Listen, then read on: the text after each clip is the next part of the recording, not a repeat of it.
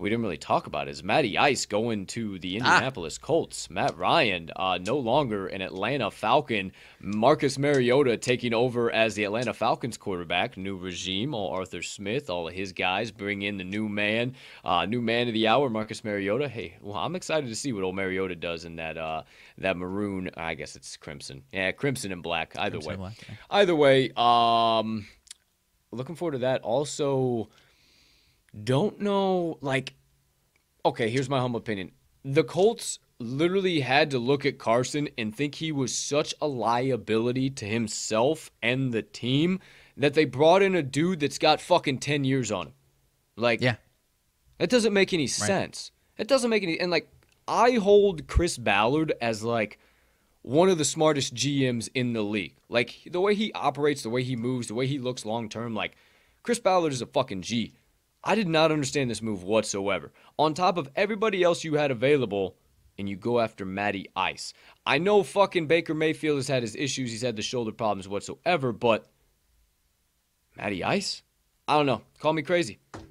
I'm not calling you crazy. I uh, as far as yeah, I mean, as far as if you think there was someone else, I, I like the move as far as nah, I shouldn't even say I like it. I as far as going from Carson to Matt Ryan, I think it uh, takes away the the oh shit factor of Carson Wentz as far as losing you games because I think that was a lot of the issue this year because he played well certain spots and they I think they what finished nine and eight if I'm not wrong. A lot of those games are because uh, Carson Wentz pulled the oh shit handle, like you said, uh, without having anyone that, with any oh shit type of value as in his weaponry. You know what I mean? So, I think I think Matt Ryan still got some in the tank because I, I we were kind of talking yesterday. I think Looked that so bad last year. I, I mean, I, I get it, and maybe he that's Maybe who he is, and maybe he's washed up. I, I personally think he was just scheme. in just the worst possible situation in the last two three years, to where he didn't have protection. Especially you lose Julio, and then you lose Calvin Ridley. I'm just worried And- about it's going to be the same situation because he's in yet another new scheme. Like he, this Sure. is his fourth scheme in two years, bro. Sure. three years, Sure. whatever the fuck it is. Hundred percent. I get it. I get it, and I think I, I I think he was trying to play too much hero ball, which he's not good enough to be the hero. So. Hmm.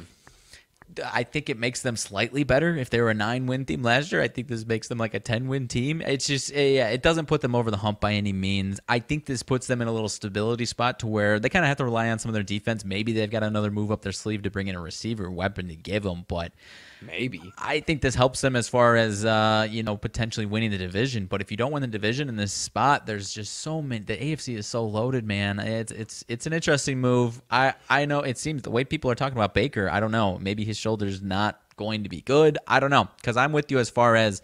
I don't. I'm not throwing the book out on Baker just because of this bad season. Like you said, he, he had a rough shoulder, man. He's had some success the year or so before that. Yeah. Um, so as far as he, he is concerned, I tweeted out the other day, if it ain't Seattle, the, the Baker's riding the bench somewhere, man. Because Carolina said no thanks, we're not interested. So I don't know. I don't know I what's mean, gonna happen with okay, Baker. so so here's my rationale, right? Like, yeah, fucking all sucks with Baker, but kind of sticking with the Colts and like the AFC South because, like, okay, yeah, you you kind of just build off what you said there. Like, if they don't win the division, like, okay, I don't see the fucking Texans competing at all now. Like, the Texans are not They're competing. gonna be bad. Fuck that.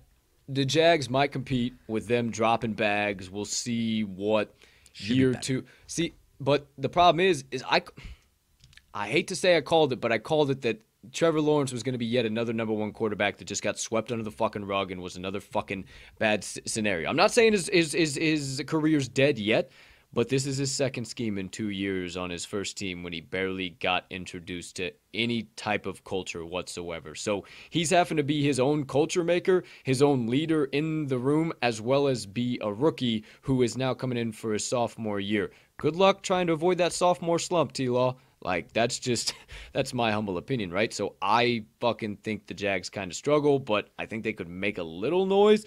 They could still do what the fucking did to the Colts. The Colts show up in Duval County end of Sure. the year and they smack them in the fucking mouth by 20 and the Colts season's fucking over because of some Yeah. dumb shit. That could happen.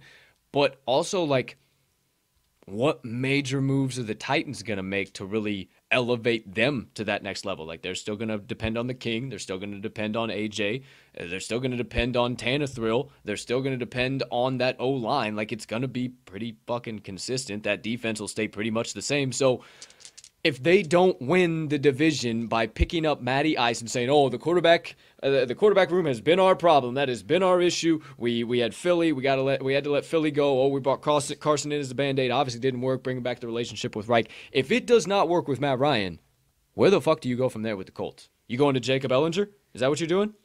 Like, Right. Fuck I you think- doing? Fuck you I think doing? that's a problem, man, because it's it, they're in a spot where, and that's kind of how we talked off the show a little bit. We didn't come to that final conclusion. It's like I saw someone. It's like if you're doing this, why not just tear it down? And it's like I, I like so much of their roster. I- You're not just gonna go full rebuild and be a dumpster fire again. Like why not? You know, see if you can figure it out on the fly because you got a lot of pieces that are going to be here for the next five to ten years. And so I, I assume their plan is to now Speaking bring in a new young. What was that? Speaking of that, five to ten Oh, years. Segue. In addition to that, kind of because I kind of think it builds on what, where you're about to go. What do they do with Ty? Like Ty's played what two games of the last three seasons? Like what do they do with Ty? Like he's becoming a disposable asset. And I'm sorry, but Oh, yeah. Michael Pittman's not a wide receiver one. So again, Oh, yeah. it just brings me back to my opening point of. I got a lot of respect for Chris Ballard, but what the fuck is the Colts front office doing? Like I don't I don't get this. I don't get this at all. I'm not Yeah. saying Matty Ice is washed. I'm No. just saying I'm not No. picking him up in fantasy because I think he's going to now all of a sudden have 400 yards a fucking game and five touchdowns. I'm just not. I don't Yeah. think he chucks the rock more than 15 times a game. Okay. Ty is uh, Ty is a free agent for now. They could bring him back, but he is a free agent at the moment. But you're right; they need some receiving core. I I th- what their probable plan is is to now probably target a young quarterback somewhere, and you'd rather have him be mentored by Matt Ryan as opposed to Carson Wentz, I imagine. Whereas even if you think it's a lateral move from Matt Ryan to Carson Wentz for the next three to four years, I, I don't think they're unless they were that over the moon about Carson Wentz being their quarterback for the next ten years, which obviously it isn't. Right. Probably see this at the bare minimum a lateral move, and now you have a better mentor for young quarterbacks. I guess would be my my, my opinion on that because I think they're just in no man's land to where they can't really build tear everything down and try and build it all back up because if they're doing mm. that then they might like it's just still the quarterback that they need they're not going to be any different situation right so Right. I don't know they might have something crazy up their sleeves otherwise they think they're going to be a 9-10 win team for the next five years I, I, dude, I, I, I really like. I can't agree with more how you close that. Like, what is that something crazy? What is that something crazy? I, I don't know, bro. Because I like, I like the receiving core, cool. But straight, Chris Ballard said last year, all fucking Zach Pascal does is.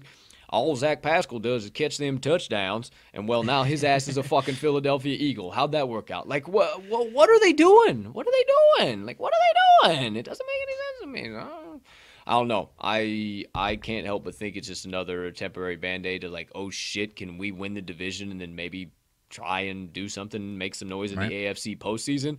Which if they squeak through and fucking win the Yeah, division, then the then you're just That's like, oh, you part of fucking squeak through and win the division. You feel it feels like my fucking Bears, like hanging on every fucking Right. thread, and the next thing you know, fucking uh, Rod, hot rod Rodrigo Blankenship hasn't fucking kicked in two fucking years. Every the, the weight of the world on his shoulders, and you got the next double doink. I can see it now, kids. or, or it's you're not just running shaping into the up good. or the Bills.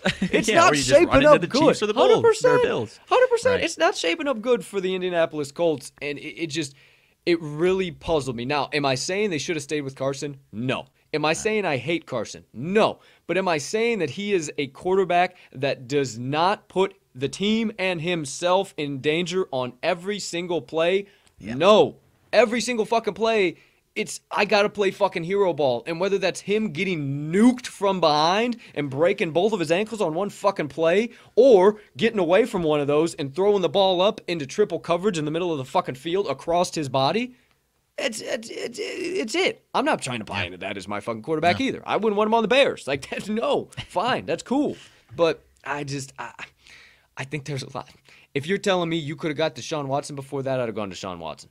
Like I, I'm sorry, I'm sorry. Sure. Well, the Texans wouldn't have wanted. Fuck, That's I'd have gone Jared trade. Goff. I'd have gone fucking Jared Sure. Goff. You got a fucking dome for fuck's sakes. He showed some flash last year. You give him a good fucking quarterback coach in Reich. I mean, I don't know. I'm not saying I hate Matty Ice. I get it. No, I get what you're saying. Yeah, I get what you're saying. It just doesn't just doesn't get you juiced. No, it just no, doesn't get you juiced. no. As far as Baker though, uh, Is he done? hasn't gotten Like, traded to fuck, Seattle bro? yet. I mean, if it hasn't happened yet, maybe Seattle's just trying to Like, make what- him.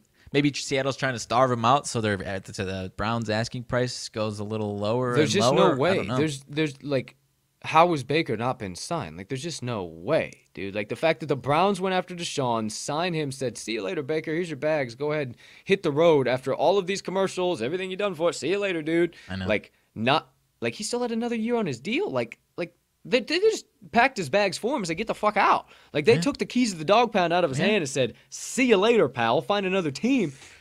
And there ain't no other team coming and knocking. And, I mean, I suppose I'm not going after. I sup. Okay. It's fantasy football, but put myself as a GM. I'm not overly enthralled on the fact that once Tom Brady goes the fuck out, that he's my QB too. Once Tom Brady is fucking done for Oh, yeah. real, or if Sure. Tom Brady gets hurt this year, I'm not like, oh shit, I got Baker. Like that's gonna be solid. Like Right. he leads the league in fourth quarter touchdowns over the last two years. Like he has no clutch gene in his body. I don't know where it went. He had it in fucking Oklahoma when he was boomer sooner and fucking pounding flagpoles into the fucking middle of the field. He had it. He ain't got no more. I don't know where it went. I don't know if he's scared to get hit. I don't know. I don't know what it is. But he can't chuck the rock. He he he can't make decisions. Even on like the read options and stuff, he's he, he looks confused there. Like I don't know, man. I don't know either.